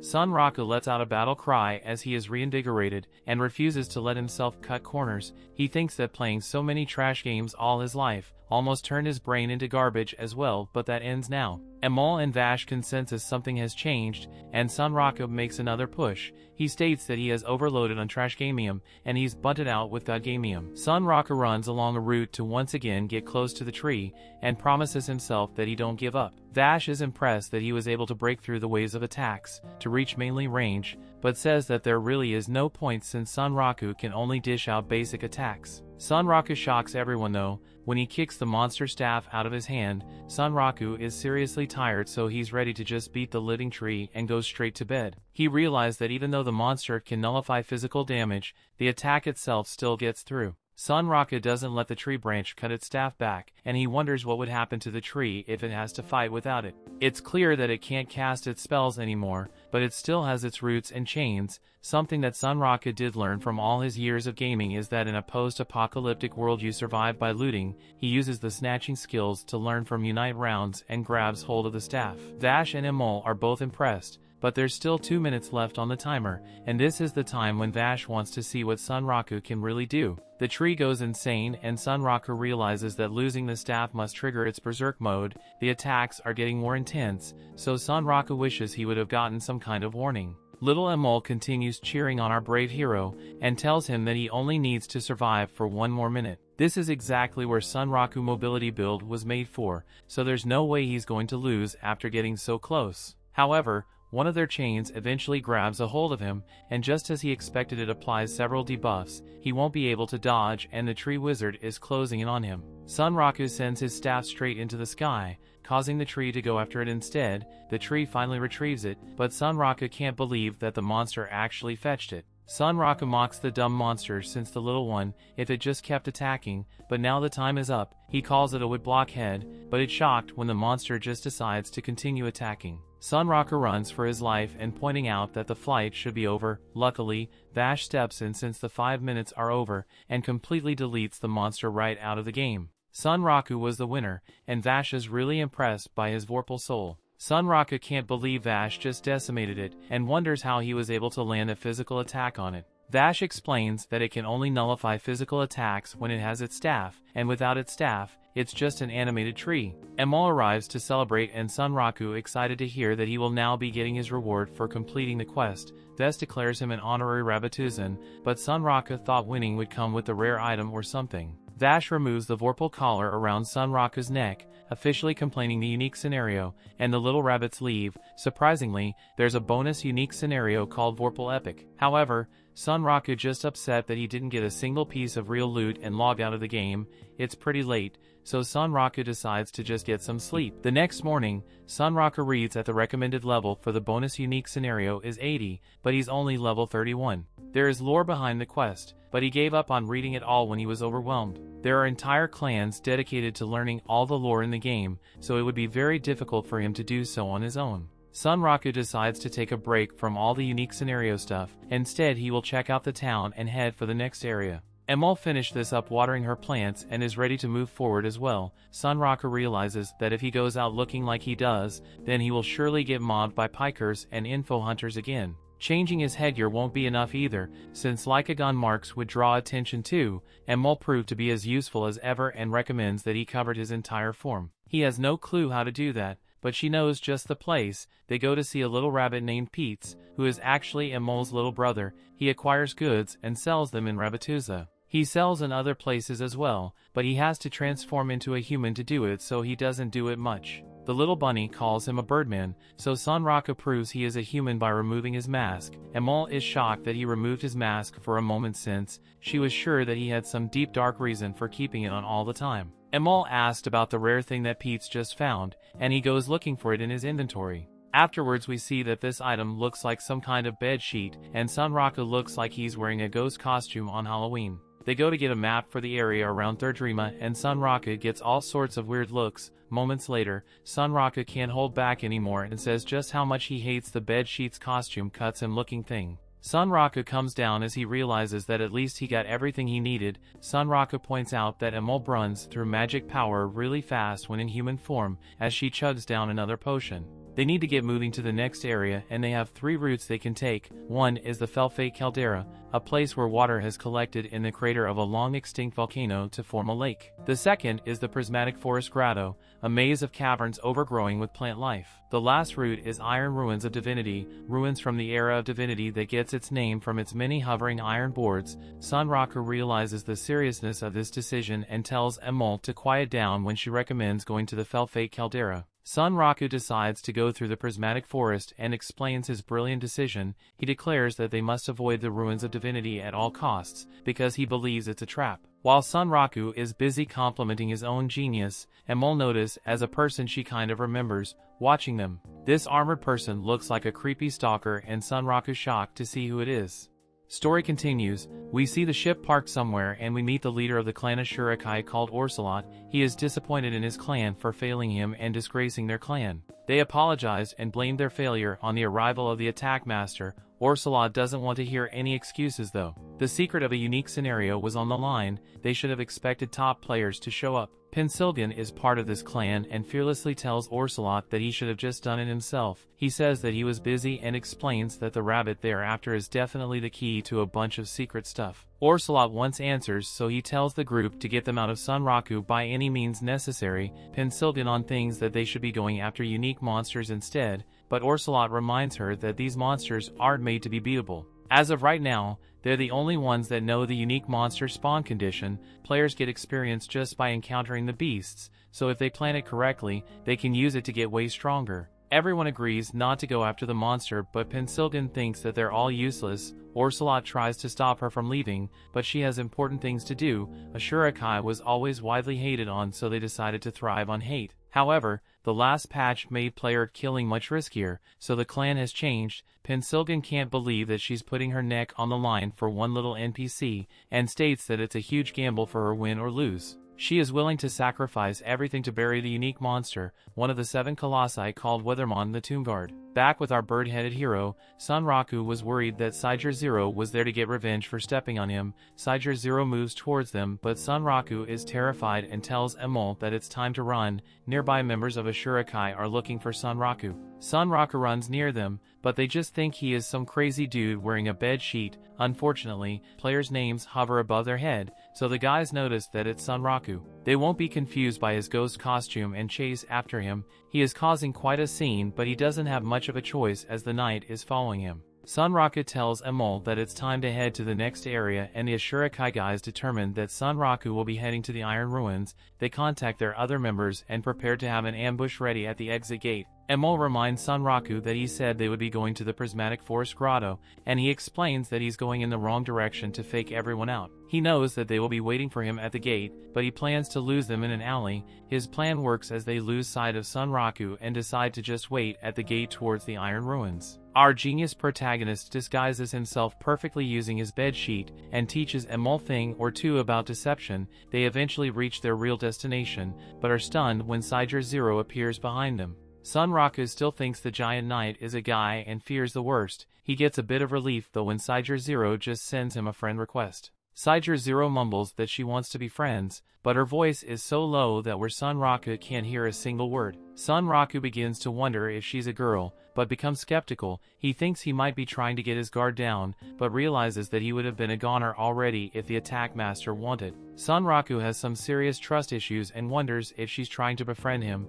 so that he will spill the beans about the scenario. He determines that the giant knight must be plotting something, so she was able to see through his disguise and determine his destination. Sunraku was confident though, since he is a gamer who has been through all kinds of PvP before, he is ready for anything so he plans to play right to her hands and he is certain that he can still beat her. Sunraku accepts the friend request and the little sucker's dream has finally come true, we then see that her finding him was complete luck, but she couldn't be happier. She tells Sunraku that she can help him through the game, but someone has seriously broken Sunraku's trust before. He takes her simple offer as proof that she is trying to get him in her debt, so she can demand information from him. Sunraku declines her offer by saying that he doesn't want to get carried, so she apologizes and emphatically wishes him luck. Sunraku apologizes for using her giant head as a step stool before, but she says it's okay and he can do it anytime. The to say goodbye and Sunraku thinks it's odd how she backed off so quickly, and thinks the knife looks pretty powerful, and Sunraku determines that Siger Zero is probably around 4 or 5 times stronger than him.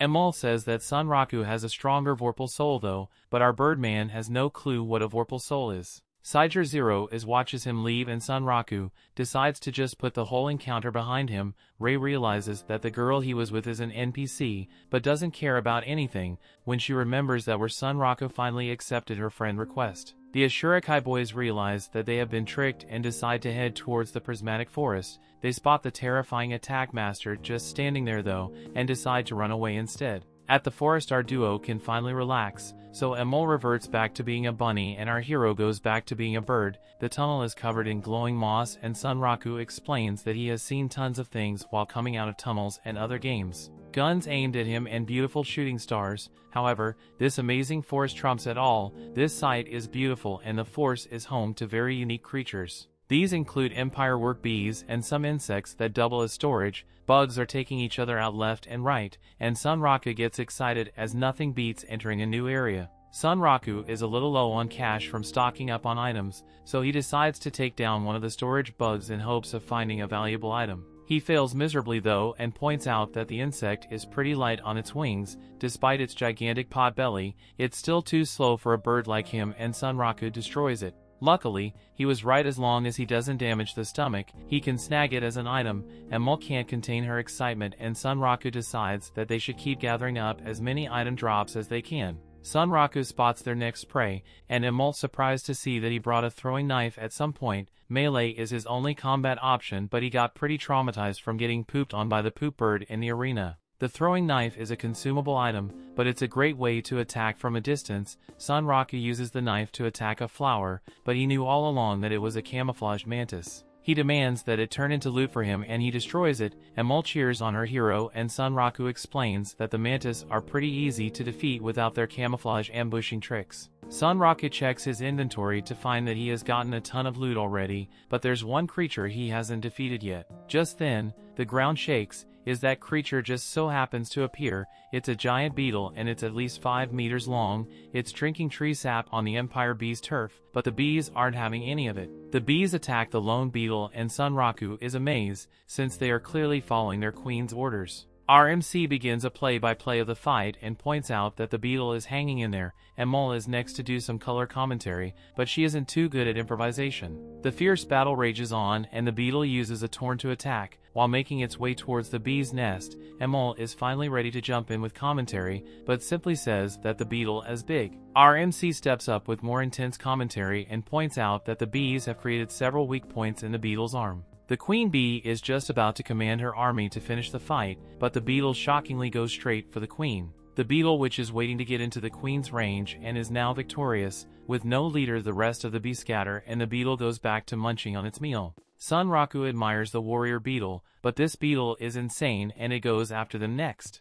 They run for their lives and Sunraku tries to explain that he just wanted to collect the loot that the bees dropped, and points out that the beetle must have thought that they wanted his sap and Sunraku comes up with an idea. He tosses his stomach sack, causing it to burst on a mantis and the beetle goes after it instead. The tables have turned now, so Sunraku targets the cracks in the beetle's armor. He lands a ton of critical strikes thanks to his good luck and the once proud warrior beetle is now a pile of nothing. Sunraku has an inventory full of stuff now, so he put the hold on collecting more. Emul didn't like the idea of exploiting the labor of all the bees, but Sunraku explains that they live in a buggy bug world. Sunraku remembers that the area boss there's a spider, and Emul explains it's called the clown spider. There are spider webs everywhere now so Sunraku assumes that they must be getting closer to the boss. Sunraku decides to fearlessly enter a cave, but we see that the terrifying spider is waiting for him. Story continues, a quick look into the recent past shows another group, and one girl is terrified that their leader wants to fight the area boss so soon. Their leader tells her to quiet down as he is confident they can win, but this guy just ends up getting stuck on a spider web. The girls become terrified and we see why as they have just encountered the horrifying clown spider. Back to the present, Sunraku makes his way toward the cave, however, he is not allowed to enter as other players are currently fighting the area boss. The pink-haired guy from earlier comes crashing down and laments how he will have to climb all the way back up again. Pinky is still confident that he can turn this terrible situation around, but he just ends up getting flattened like a pancake. Sunraku says a prayer for the fallen adventurer and he is ready for his turn now. The innocent little Emul is shocked that he's able to move on so fast, but Sunraku reminds her that players will just respawn right back in Third Rema. They make their way into the cave and find the corpses of the poor players that came before for them. Sunraku show his supreme confidence as he tells Emul to stay back. He plans to beat the clown spider all by himself without dying or taking damage. Emul thinks our boy is absolutely insane but he has already made his decision and he calls out the area boss.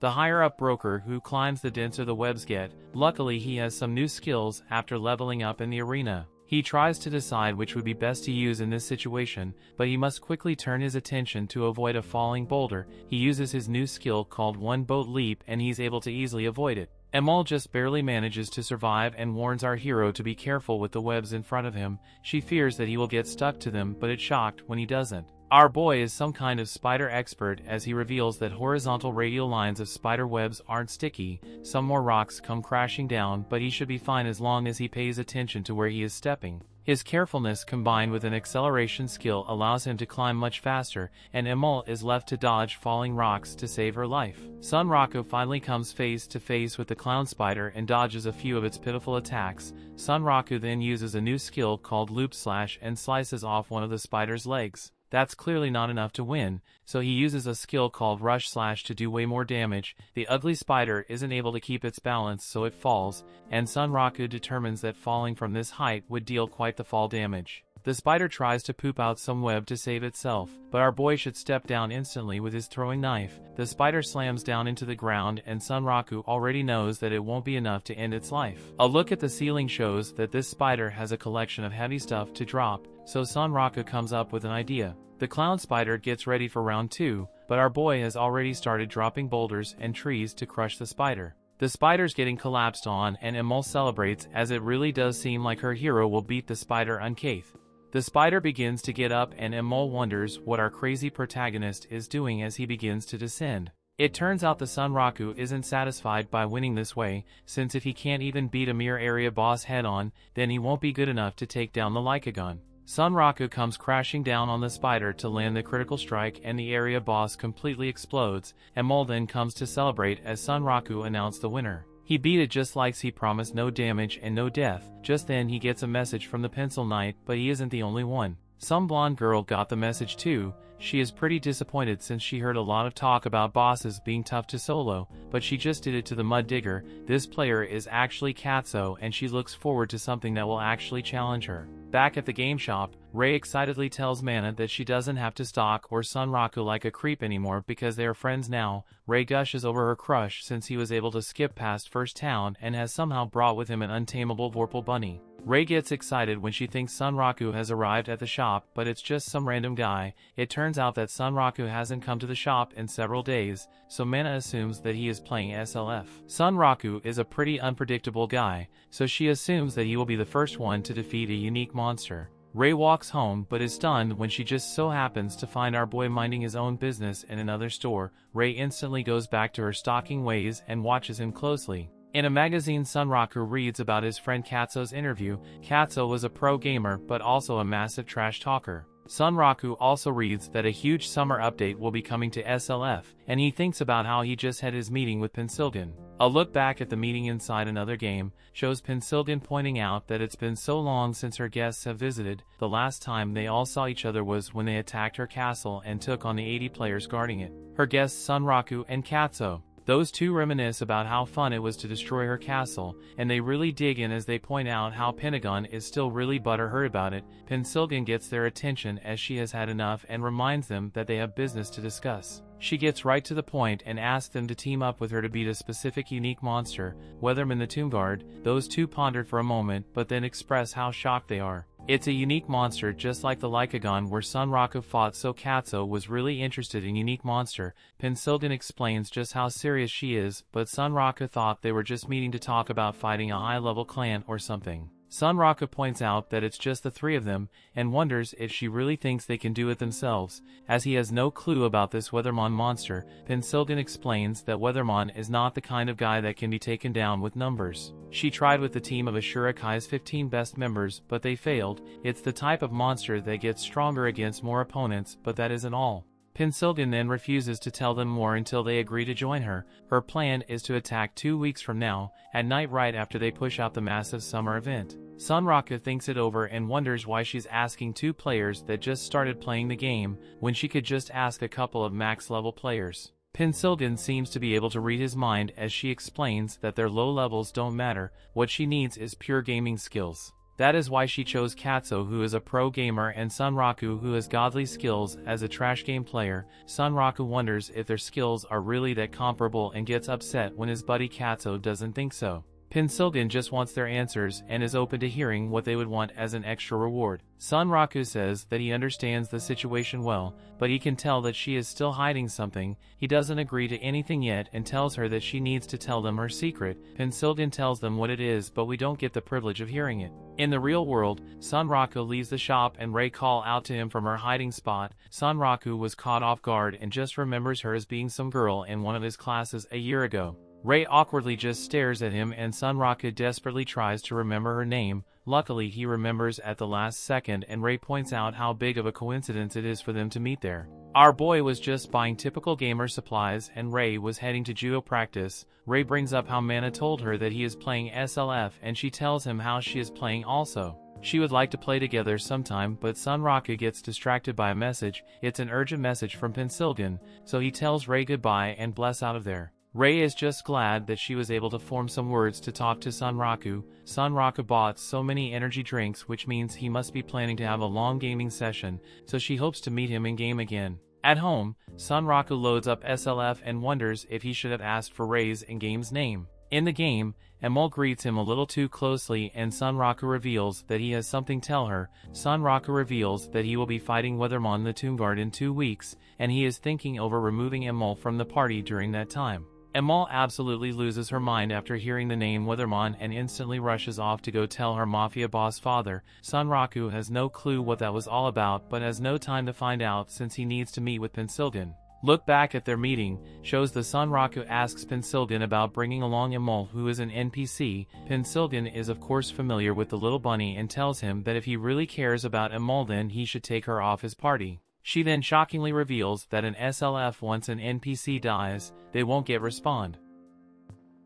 Story continues, we see that Emul's father has some Sunraku to hear his plan straight from his mouth. He wants to know if it's true that Sunraku plans to pick a fight with the one known as the Death Defier. Sunraku instantly realizes that the sudden event must be important. The best tactic he can use right now to talk to this mafia boss is to role play in this scenario and its characters. If he does it right, he might get some valuable information about Wethermon. Sunraku determines that he must persuade Vash to get on his side and the key will be to use the word Vorpal Soul. Vash minds Sunraku that he is too weak to take on Wethermon. Sunraku dramatically reveals that he isn't taking on this challenge because he thinks he can win. He explains that he will only be acting as a support as his teammate will be doing most of the fighting. Sunraku explains that a group of murderers are taking advantage of Wethermon for selfish gain. They rack up tons of experience just by encountering him over and over again. Sunraku's teammate is the defector of this group and she wants to end the fight once and for all. Sunraku explains that she has taken every measure to assure victory but Vash counters that it doesn't matter how many measures they take, if they aren't strong enough then they're just going on a mission of self-destruction. Death missions are not what having a Vorpal soul is all about and Vash taught him better than that. Sunraku has no intention of losing and explains that he and his friends simply want to support their leaders will to win against Wethermon. Sunraku explains that coming to her aid is really just upholding his own Vorpal soul. He tells Vash that all he needs is two weeks. Two weeks for Vash to take Sunraku, who acknowledges he's an inexperienced fool and turns him into a worthy challenger against a strong foe. Vash seems to get convinced as he begins talking about honor. He states that a certain man is very awkward and Sunraku wonders if he is talking about Wethermon. This man is overly serious never knowing when to stop. He lost his wife over a little lie and because of that he is cursed with an undying body. He is now just a walking corpse unable to even put himself to rest. For that reason someone needs to beat him down and put him to sleep. Vash swore not to lay upon this man himself, but since Sunraku was so insistent then he won't stop him. On top of that Vash even has his beloved daughter insisting, Vash then tells Sunraku follow him as he agrees to give him a hand, Sunraku was then shocked when they arrive at a blacksmith's forge. He celebrates for a moment as he did a good job in getting to the next stage of the Rabbituza event. Vash calls upon the blacksmith named Bylak, who is also another one of Emul's siblings. That's already three kids so far. So Sunraku wonders if all the bunny is in Rabbituza, all Vash's children. Sunraku is introduced and Bylak says he looks just like a person named Evil. Vash takes a look at Sunraku's Vorpal weapons and is glad to see that Sunraku was accepted by his weapons nicely. Vash states that he will be ascending the weapons, but Bylak is shocked to hear that. She can't believe that Vash will be wielding the hammer himself, but Vash explains that he must.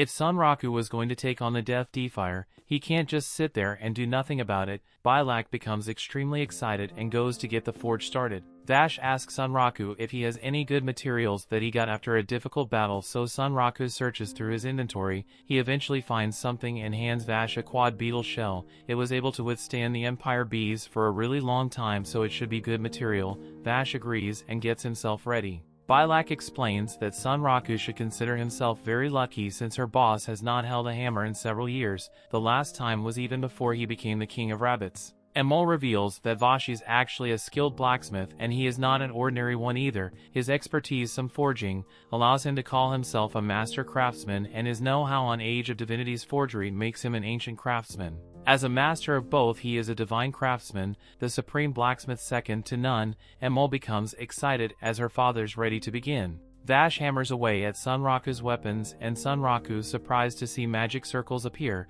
they pop out with every strike and are then absorbed into the weapon. Bylak reveals that ascending involves reading the memories and experience that weapons earn in battle, remolding them into what they are meant to be, put differently it's a technique that ascends weapons to their true form. Weapons with Vorpal in their name remember battles against strong opponents. Vash is taking their memories of fighting Sunraku's hand and the power of the Shuanfu instilled in the material he gave Vash. He then mixes those two elements together to change the weapon's form. Bylak points out the Sunraku fought the Lycagon evenly so she can't wait to see what weapon will result from that. Vash begins to sing and Sunraku must be told to quiet down as this is a very important moment. The little rabbits are not to witness the master at work and Vash just keeps wailing on the weapon. After some time, Vash finally proclaims that the Vorpal choppers have acquired their true form and name, they are now the Moonblade Waxing and the Moonblade Waning weapons. There are two swords from one blade and only when they are paired together will they show their true value. Sunraku is of course excited about this amazing feat and immediately goes to check their stats.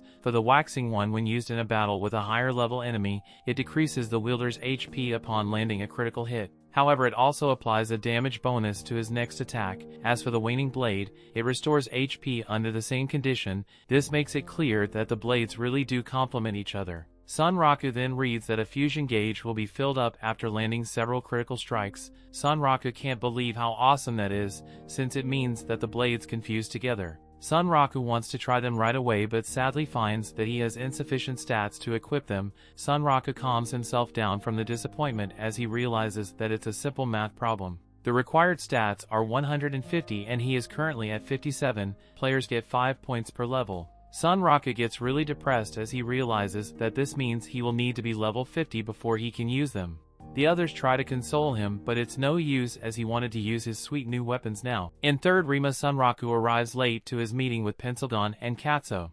They are furious since he isn't it's a little late, as they have been waiting for three hours. Sunraku explains that he was busy with that unique scenario and kept going in it because Wethermon came up, Pencilgon agrees to let him off the hook for being late as long as he reveals any information he received. Katsuo can't believe it and Sunraku points out how bold Katsuo is for selecting the blonde girl as his avatar. Katsuo states that he doesn't need pointers on character design from the guy who looks like a bird and calls him an infamous criminal. Pencilgon intentionally had to pick a place for the meeting that had low traffic because Sunraku has so many people coming after him. Sunraku then catches them up on everything he learned about Wethermon the Tomb Guard. Katsuo wonders if they are dealing with some kind of undead monster and Pencilgon recalls that Wethermon's movements did seem a bit janky, she assumed he was a cyborg type but being undead makes more sense. Pencilgon strangely states that she has something to take care of and instructs them to meet later that night. She also instructs them to grind experience in the Iron Ruins in the meantime and gives them a fishing rod and a map. The guys have no clue how the items are supposed to help, but Pencilgon reveals that it will all make sense when they get there. Pencilgon prepares to leave, but she notices the strange little bunny on Sunraku back. She noticed something was strange the second Sunraku walked in and wondered if he really thought that the disguise was really working. Sunraku does his best acting job as he acts clueless to what she is talking about and simply explains that he's just following the latest fashion trend. Pencilgon is then shocked to see that he did manage to fool at least one person as Katsuo wonders what the fashion trend is. Pencilgon decides to drop the issue and just leaves. The two guys excitedly get ready to do some grinding but Sunraku must take a moment to find the safest route. Katsuo was all hyped up but gets discouraged since he now has to sneak around to since he is with Sunraku. Emul gets distressed as she reveals to Sunraku that she's getting a serious earache and would like to move around for a bit. Katsuo finally realizes that something is off and becomes startled when he sees that Sunraku's equipment is talking. The jig is up so Sunraku lets Emul free and he states that he was just trying to see how long it would take for Katsuo to notice. Katsuo realizes that it's the NPC from the unique scenario. As he takes a closer look he wishes he had one but Sunraku tells him to get his own. The guys finally arrive at the entrance to the ruins and Sunraku explains that he wants to get to level 50 as soon as possible. Katsuo reveals that this is his first time in a party and it's actually the first Sunraku has party with another player as well. They reach the entrance to the Iron Ruins of Divinity and they both become excited as it clearly has a different vibe than the rest of the game.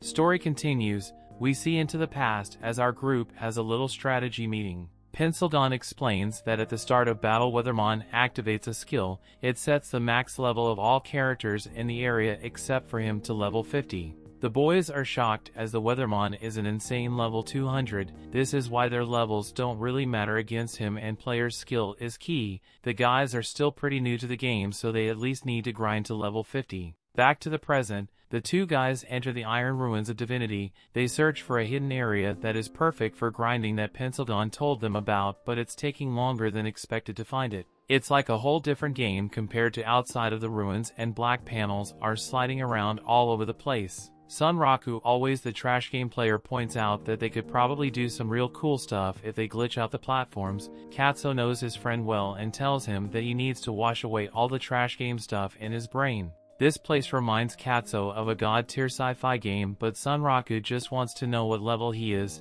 Katsuo reveals that he's level 25 and Sunraku mocks him for still being in the 20s. Sunraku is level 31 so Katsuo quick to point out that they aren't that far apart, Emul unintentionally roasts Katsuo as she explains that Sunraku was just worried about how weak and frail he is. Just then Emul warns the boys to be careful as some big thing called the Giant Suppression Dome almost crushes them.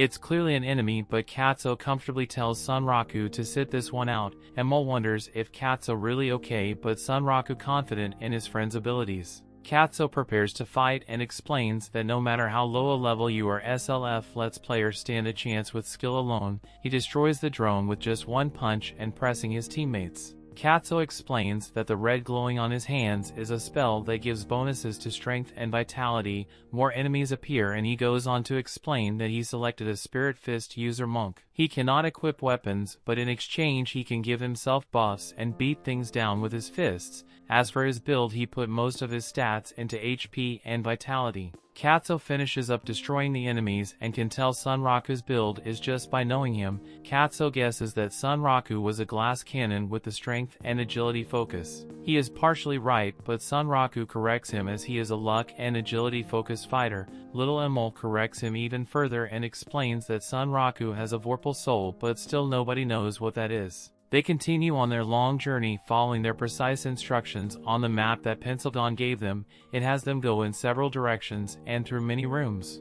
They are all amazed by the person who made the map since it must have required a lot of patience. The final instructions are to jump down a hole but they pause as they wonder if it's some kind of prank to make themselves end life. Katsuo doesn't want the glass cannon Sunraku to instant die going down there so he takes the lead. Emul says that Katsuo one brave lady but Sunraku tries to explain that Katsuo was actually a guy. Katsuo tells them to come down because Sunraku loser while doing so, Sunraku gets furious and jumps down ready to get some revenge. He quickly forgets the insult however when he sees that they have arrived at the hidden area. According to Pencilgon's instructions, they will be able to fish up a monster called the Lifestyle Lake Serpent in the lake. Katsuo wonders if they will really be able to catch anything with their puny little rods but they decide to give it a try. The two friends are super competitive and decide to compete to see who can catch more. Sunraku's father used to take him fishing all the time, so he knows all the tips and tricks. Sunraku quickly gets a bite, but Katsuo points out that it probably has more to do with all his luck. Sunraku only manages to get a salmon but everyone is shocked when Katsuo pulls out his giant serpent. The lifestyle lake serpent is a powerful beast so Sunraku decides that it's time to unveil his new weapon. Katsuo reminds Sunraku that he's too low of a level to equip the moon blades, but Seeker Sunraku reveals that he had more weapons made, these are called the Empire B twin blades. The serpent begins attacking and Emul explains to Katsuo that she had her sister make these blades for Sunraku. A look back, shows the little bunny completing the blades made from the Empire B Queen material Sunraku brought her. Bylak get upset when Sunraku almost forgets her name, so he realizes that he might have to manage affection levels with rabbits other than Emul and Vash. Sunraku panics as he starts getting traumatizing flashbacks from a trash game dating simulator. In that dating simulator, he had to balance the affection levels of a bunch of different girls. If he made the slightest mistake, he will get the bad ending where all the girls move to Italy to apprentice at a pizzeria. His character named Sunraku Picklefish would have his adolescence crushed beneath a pizza stone. Sunraku quickly snaps out of his depression and compliments Bylak on making his new blades. She reveals that his right-hand blade has a special attribute. We then watch as he puts it to work against the serpent, the guys do their best against it but they struggle. Their levels are just too low to put more than a scratch on the creature. Sunraku explains that some weapons, skills, spells and monster attacks have a corrosion attribute. If enough damage is dealt to a certain part of an avatar, it'll cause visible damage and create a weak point there. Bylak explained that his right-hand weapon doesn't corrode in the normal way, it infects the part Sunraku attacks and corrodes it over time more like a corrosive poison, with the corrode attribute building up and warming its way in little by little. If he keeps stealing more corrosive poison with repeated strikes, it breaks through the enemy's debuff resistance and causes the corrosive attribute to show itself faster. Sunraku finally manages to create a weak spot so Katsuo focuses all his strength to attack it, they finally manage to hurt the thing so Emul wants to join the fight. The serpent quickly targets her and Sunraku can't get to her in time, but Katsuo jumps in to take the hit instead. Luckily Katsuo survives because he built himself like a tank. Katsuo stuns the serpent, so they all combine their power to attack the beast and they finally win the fight. The fight was definitely worth it as it gave a lot of experience and the boys are already starting to level up. Katsuo goes up 4 levels and unlocks a bunch of skills. He wonders if he can link the skills but Sunraku assumes that he's mistaking SLF for a different game. Sunraku doesn't even know what skill linking is, but Katsuo was certain it must be possible since SLF is a game all about skills. Katsuo explains that he should have learned that in First Hia but Sunraku skip right past that starter town. Katsuo then explains that skills with proficiency levels can be linked up at a facility called the Skill Garden that lets them create new combo skills. Sunraku now realizes why some of his skills were changing names, since that just meant that they could now be linked. There is a lot more that can be done at the skill garden so Sunraku freaks out after not knowing any of it. Katsuo then mentions sub-jobs and guilds which makes them freak out even more since he missed so much from just skipping one little town. Sunraku decides that he won't get anywhere by being depressed and decides to continue grinding. Sometime later the boys regroup with Pencilgon. She is happy with their progress as Katsuo is now level 40 and Sunraku level 42. That's a lot of progress in such a short amount of time so they're ahead of schedule. Katsuo tries to explain how little Sunraku knew about stuff, but Sunraku him down. Katsuo was pretty impressed with Emul's power and Sunraku reveals that his precious little bunny friend is already level 56. They're still pretty pressed for time overall, which is why Pencilgon had to use an expensive tent that double as a safe point. Pencilgon then reveals that it's time for them to go meet someone and this hour of night is the only time they can do it. This person is a unique NPC named Setsuna and they need to speak to her in order to fight Wethermon. Elsewhere in the night, we see this Setsuna person as she sings by a tree. That brings the episode to an end. Thanks for watching. Want next part subscribe the channel and turn on notification bell.